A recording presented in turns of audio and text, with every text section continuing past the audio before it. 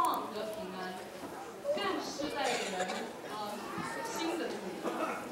下面让我们一起来欣赏明月合奏，丰收锣鼓和赞美耶和华。